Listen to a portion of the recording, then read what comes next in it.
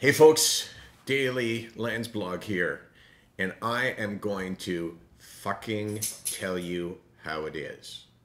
Okay, I wasn't sure whether I should use that word, a lot of debate over the last day, uh, because I used that in a tweet, and there were people that objected to it, and I thought to myself, first of all, always accept an opinion um, that comes from the right place. And I think all of the people that criticized me for using that word were coming from the right place. I mean, I don't agree with them because I think that in our fight to establish mental illness as a physical illness of the brain, um, we have to show all the passion and all of the humanity and all of the reality that we can because it's that important. And sometimes when I talk, when I talk with passion, I use words that I can't use on the radio and I can't use on television. But I always feel like I'm just a little bit short of where I could be if I can't use those words. So if I, when I say, um, we are in the fight of our lives. It to me is not as strong as saying we are in the fight of our lives because we are fighting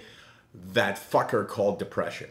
And again, you may hear that and think, well, that's inappropriate. And I don't 100% disagree with you. I kind of 90% disagree with you. So sometimes I get called, carried away, and I apologize for that. But I will never take a stance and a step back that says, okay, well, I'm not going to show my true feelings. Because sometimes to show how you really feel, you have to say how you really feel. Okay, Case, you ready?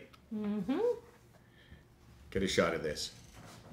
Read it out, Case. I can't see it here. It's hard for me to read because I'm focusing on holding the, ca- the camera. Okay, well, let's see how you Sick do. Not Weak is a mantra and a mental program that keeps an individual mentally sick. Sick, not weak, is a mantra. Sorry. I, you said mantra. What the fuck? hey, hey, watch that language there. What the hell? Tomato. Sick Not Weak is a mantra and a mental program, I don't know what that means, that keeps an individual mentally sick.